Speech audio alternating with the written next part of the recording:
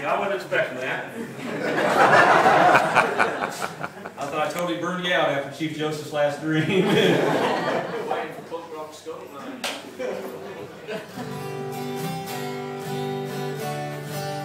um, no, if you actually, if you don't mind, I'd like to take a break from Farmer Jason tonight. I love what's going on with Dover River family. But, um, it's nice to do Jason Rain. I think I'm to write this, or sing the sing, silliest song I ever wrote. Um, well, I guess Honky Tonk Maniac from Mars is pretty close, too. But um, this one was the first silliest song I wrote. Uh, this was again on Fervor. This is a funny thing. These, uh, I had an endorsement with this cable company, and obviously this was not designed by a musician because it's one of those uh, cables that you can press a button and it turns off the signal. So um, it doesn't make that clunky sound when you plug it in. But you know the little mark that says if it's on or off is this little thin slice of white, and you know no musician at 1 o'clock in the morning after four beers is ever going to be able to remember that. You know, they need big blinking on or off, dude. You know. Even me, as sober as I am, I'm not exactly sure which is. Okay, there we go. All right, very good. Very good. Song's called Help There's a Fire. It was on for. It's been a good song for been accused of um, sort of, uh, you know, referencing Bob Dylan's Subterranean Homesick Blues a little too freely on this song with the rhythm of the lyric. Um, but it's not the truth, actually. But I did reference another song at the time. Um, there was a song out by, believe it or not, by Eddie Rabbitt called Driving My Life Away. Y'all remember that song? Ooh, I'm driving my life away, deep grade up ahead, something like that. Anyway, um, I was reading at the time, I wrote this, I think I was 20 years old, and um, I actually wrote this before I became a scorcher. I wrote this in Illinois. And I was reading this interview with John Lennon. He said that he gets songs stuck in his head sometimes, and the only way to get them out was to write a song very similar to it that he would write himself, and then that would that would uh, purge that song from his mind. So that's what I did. If this song did nothing else for the rest of my career, it did purge driving my life away out of my, out head. Well, I'm rolling down my window, listening to the radio. Baby wants me to stay, but I think I'm gonna go. If I had a dollar, I'd stop by at the corner store, buy myself a popsicle, take her to the disco, baby. You're like a bird out on a wire.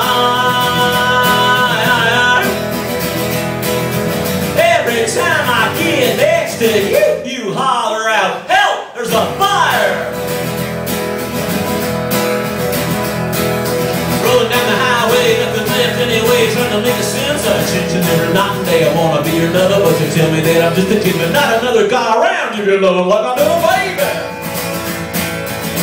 You're like a bird out on a wire.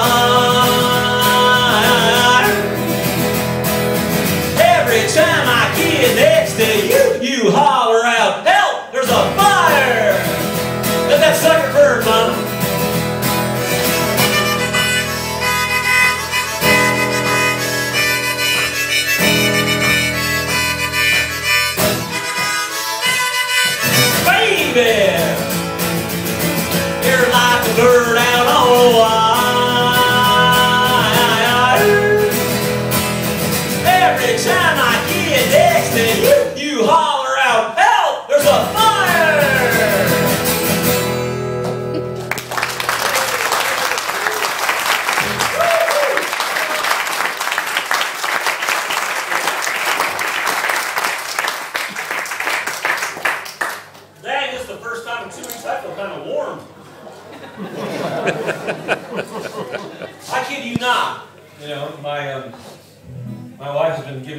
Reports. There was a couple days last week it reached 40 degrees in Tennessee. Centigrade. Yeah. I was up in the Shetland Islands freezing to death. I had a big old World War woolly hat on and jackets and things. Hanging out there, was a dang near snowing. I was loving it. Um, I would like to publicly, very, very publicly, and and uh, heartfelt say thank you to Mark Scott for putting on a great day today.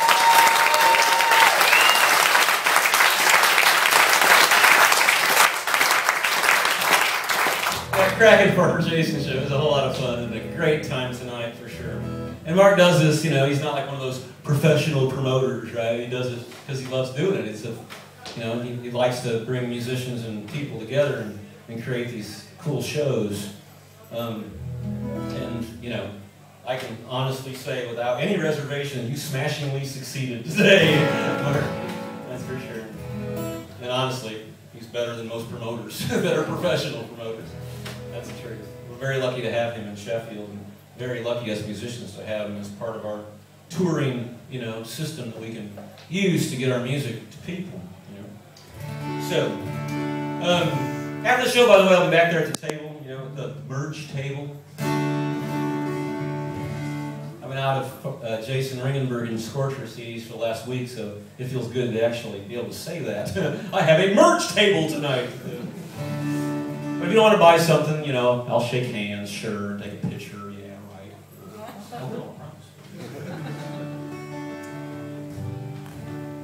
All right, the last song I'm going to do tonight is um, it's an old Merle Haggard song, um, and I've been I've been you know into this song as long as I can remember being into music. Really, um, I recorded it in 2004. It's called Rainbow Stew. Um, and I first heard it, believe it or not, we were out, I was out with my brother and my dad on the, in the fields, and uh, it was over the truck AM radio. Uh, you know, out of this you know, 65 Chevy truck, old blue truck that dad had.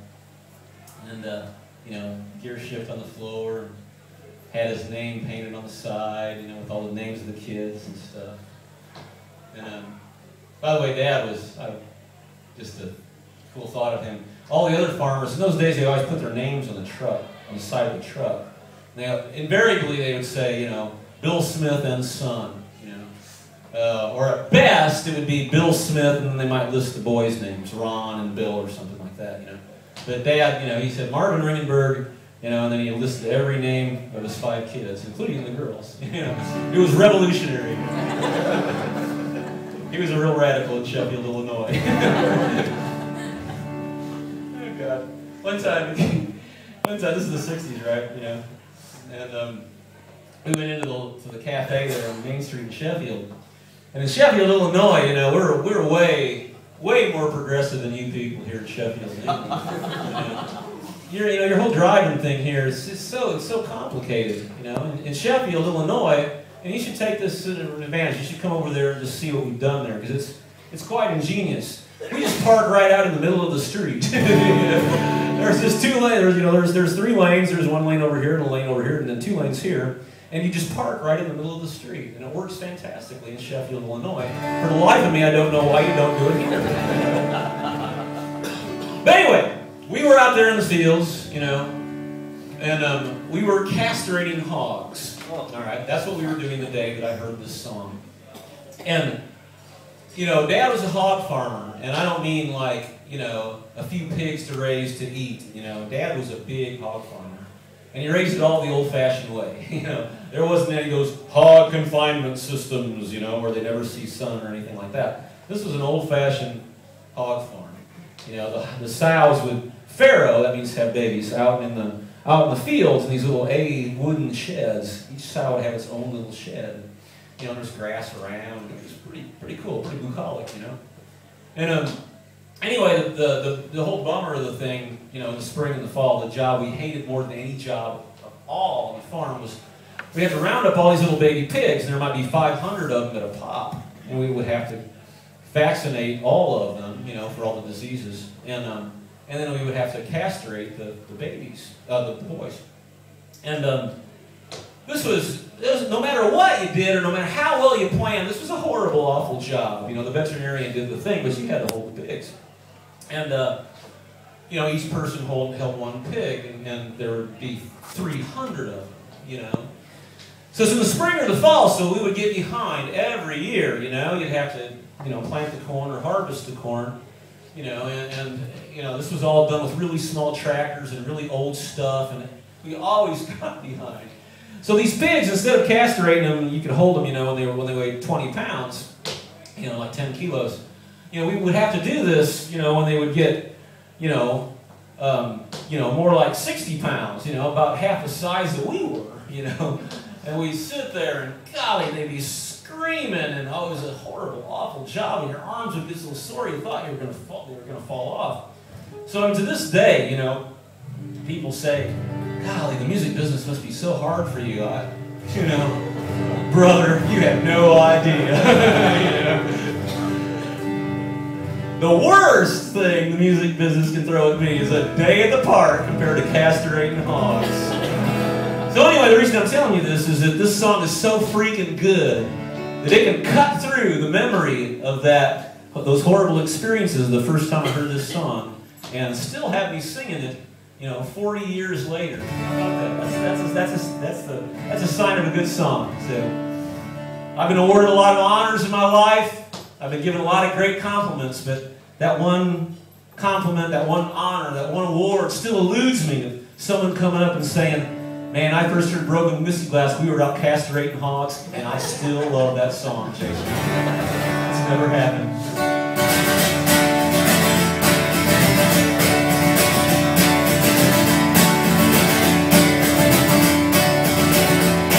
There's a big black cloud in the city, and the countryside is thin. The price of life is too high to give up, it's about to come down again.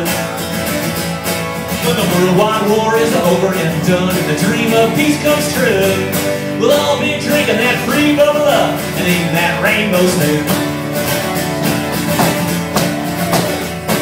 When they find out how to burn water, and the gasoline cars are gone. When airplanes fly without any fuel and the sunlight heats our home. One of these days when the air clears up and the sun comes shining through, we'll all be drinking that free bubble love and eating that rainbow stew.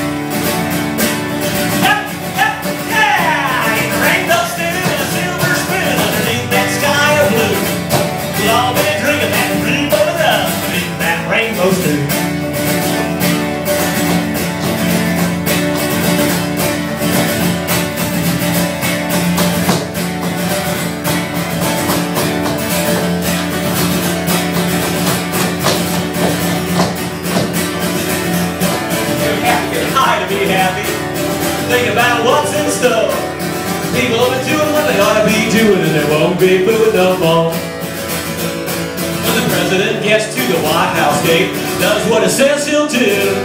We'll all be drinking that free bubble up and eating that rainbow stew. Yep, yep, yeah! And a rainbow stew and a silver spoon underneath that sky of blue. We'll all be drinking that free bubble up, eating that rainbow stew. Eating rainbow stew and a silver spoon underneath that sky of blue. We'll all be drinking that free bubble up, eating that rainbow stew.